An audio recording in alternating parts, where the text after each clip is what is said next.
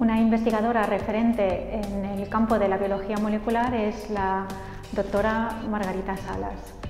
Tras doctorarse en bioquímica, en los años 60 se marchó a Estados Unidos para ampliar su formación junto al premio Nobel Severo Ochoa y al regresar a España formó el primer grupo de investigación en genética molecular, destacando como investigadora en una época en la que era raro que una mujer se dedicara a la ciencia.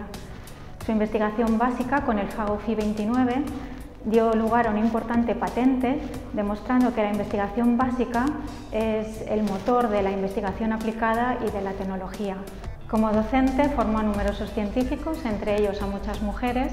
y en numerosas ocasiones ha afirmado que la vocación científica no nace, sino que se hace y la suya surgió mientras estudiaba la carrera de química.